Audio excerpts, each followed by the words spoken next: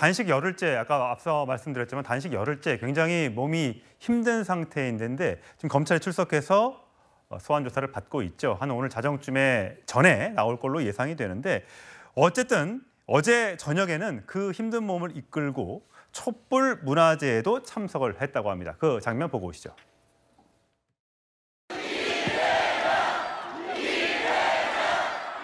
국가 권력은 국민에게 있는 것이고 나에게 반대하는 자는 반국가 세력이다 라고 말하는 것은 바로 내가 국가라는 생각에서 나온 것 아니겠습니까? 이거야말로 전체주의 아닙니까? 대통령은 왕이 아니라 국민의 모습일 뿐이라는 것을 우리 손으로 증명해 줍시다, 여러분.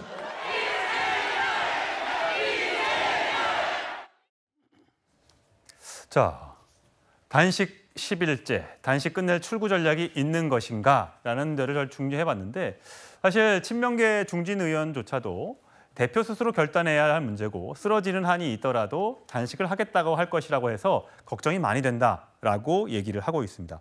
자, 장 변호사님. 옛날에 그 이재명 대표가 성남시장 시절에 단식을 했던 적이 있지 않습니까? 네. 그때도 열흘 단식을 했고 11일 만에 단식을 중단했었습니다. 그때는 더 젊었을 때니까 더 네. 체력도 좋았을 텐데 지금 굉장히 오랜 기간 단식을 하고 있어요. 건강 상태는 어떻습니까? 건강 상태 무척 좋지 않다라고 하죠. 지금 영상에서 보신 것처럼 굉장히 야윈 모습입니다. 그런데 지적해 주신 대로 출구 전략은 없습니다. 왜냐하면 출구가 마련돼 있지 않다는 걸 알고 시작한 단식이라고 볼 수밖에 없거든요. 과거의 정치인의 단식과는 또 양태가 상당히 다른 부분이 있습니다. 황교안 전 대표가 단식할 때 문재인 정부 정- 강기정 정무수석은 만류했습니다. 건강 상하신다고. 지금 윤석열 정부에서 이런 풍경은 상상하기 사실 어렵죠. 서로 강대강으로 치닫고 심지어 여당에선 사실상 조롱 희롱하고 있습니다. 공당의 대변인이 스시를 시켜 먹은 건 아닌지 의심스럽다라고 이야기를 하고요. 관종 DNA라고 여당의 대표가 이야기할 건 아닙니다. 이런 국면에서 단식 쉽사리 중단할 수가 없을 겁니다. 그렇다면 어떤 국면으로 펼쳐질지 지금 출구 전략이 없는 상태에서 건강이 상하면서까지 왜냐하면 처음부터 프레, 프레임을 방탄이다라고 쓰, 쓰였기 때문에 중단하는 순간 이 부분이 또 정치적으로 공격의 대상이 될 수 있는 이런 강대강 국면이 지속되고 있기 때문에 스스로 단식을 중단하는 일은 없을 것 같습니다. 예. 자, 이 대표는 사실 보통은 과거에 여당이나 야당 대표가 단식을 하게 되면 어, 반대당에서 가서 단식을 중단해 달라 이런 그 화해의 뉘앙스의 제스처를 보이기도 했는데 이번은 현재 열- 열흘, 열흘 때까지 그런 일이 안 벌어지고 있습니다. 자, 이재명 대표 과거부터 계속해서 윤석열 대통령을 향해서 만남, 회담을 제안해 왔었죠. 그러나 그 만남이 이루어지지 않고 있습니다. 그 이유를 한번 보시겠습니다. 공식적으로 영수회담을 요청드립니다. 민생 앞에 여야와 에, 정, 정쟁이 있을 수 있겠습니까? 집권 이후 야당 대표와 대화하지 않은 유일한 정부라는 지적까지 받고 있습니다. 저는 이미 여러 차례 대통령과의 회담을 제안했습니다. 그 제안은 지금도 유효하다는 말씀을 드립니다. 야당 대표를 만나라는 그런 충원을 해보신 적이 있습니까? 현재의 여건은 적절하지 않은 것 같다는 말씀이셨습니다. 어떤 여건이 필요하단 말씀인가요? 야당 대표가 가지고 있는 그러한 사법적 리스크에 대해서 대통령으로서의 어떤 시그널이라고 이해를 국민들이 한다면 그거는 대단히 언페어한 그러한 것이 될 수도 있겠다라는 것을 말씀하셨고 이재명 대표 내나는 만나지 않겠다. 여건이 좀 안 됐다 그런 말씀이라고 저는 그게 그게 그 말씀인데요. 네. 자, 서 변호사님. 지금 어쨌든 단식 중이기도 하고 또 대통령 취임한 지가 벌써 1년도 넘었는데 야당 대표와의 만남은 이루어지지 않고 있습니다. 한덕수 총리가 말, 마- 말한 대로 어, 굉장히 대통령으로서 어떤 시그널을 국민들한테 주는 것이라 조금 그것 때문에 공, 불공정한 게 될 수 있어서 고래서 못 만나고 있다라고 얘기하는데 어떻게 들으셨어요? 저는 이제 그 방송에서도 만나서는 안 된다 이렇게 계속 주장을 했는데요. 예. 지금 이게 두 가지 이유예요. 첫째는 이게 패자가 성복을 할 때 성자도 이게 관용으로 가는 겁니다.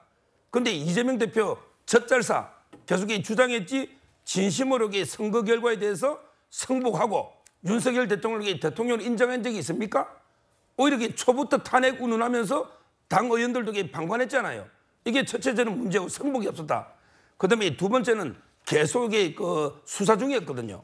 이런 상황에서 대통령이 만났을 때 검찰에 특히 검찰은 행정부 소속이잖아요. 아무래도 이 대통령이 저놈에게 면죄부를 주라는 취지인가 잘못된 이게 시그널이 있다. 이 점에서 저는 만나는 게 적절치 않다. 이렇게 보고요. 자, 두 번째 조금 전에 단식에 뭐 옛날 단식할 때는 찾아갔는데 예를 들어 김성태 원내대표 할 때도 그 상대당의 원내대표 가서 그때 드루킹 특검 네. 했죠. 그다음에 황교안 대표 때도 제 기억에 강기정 수석인지 예. 가가지고 그때는 지소미아 하고 이제 공수처 반대 이런 거였거든요. 근데 지금요 이재명 대표처럼 그때 단식할 때 정권 물러나라 내각 총사퇴해라 또는 이게 뭐 완전히 국민한테 뭐 사과해라 이런 요구가 없었어요. 이런 식으로 단식을 하면서 끊임없이 대통령 끌어내려야 된다. 내각 총사퇴해야 된다. 이런 말도 안 되는 정권 공격을 하고 있는데 이걸 어떻게 찾아가서 타협을 합니까?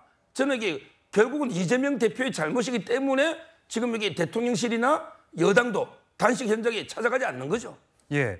자, 사실 이재명 대표 입장에서는 검찰의 수사가 이렇게 오랫동안 지속되고 있는 것에 대해서 굉장히 불만이 많은 것으로 여러 여러 통로를 통해서 저희가 말씀을 드렸는데 여당 내에서도 이런 목소리가 나왔습니다. 자, 홍준표 대구시장이 SNS에 글을 올렸는데 자, 이러다 정권 내내 이재명 대표 비리 수사로 끝날 수도 있겠다. 이 대표 사건을 2년이나 끌었는데 요즘 검찰이 무능한 건지 답답하다라고 얘기를 했어요.